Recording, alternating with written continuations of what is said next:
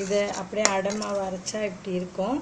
இதை தூக்கி இந்த தோசைக்கல்லில் வாங்கி விடணும் எண்ணெயை கொத்திண்டு இப்படி மெதுவாக இழுத்து விடணும் ஃபுல்லாக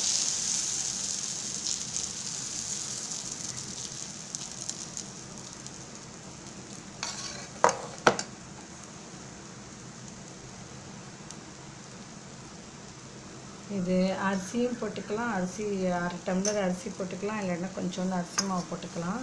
நான் இப்போ அரிசி போட்டுருக்கேன் இது ஆயிரம் அந் சாத்துக்குடி சட்னி. பண்ணி பாருங்க. டேஸ்ட்டாக இருக்கும்.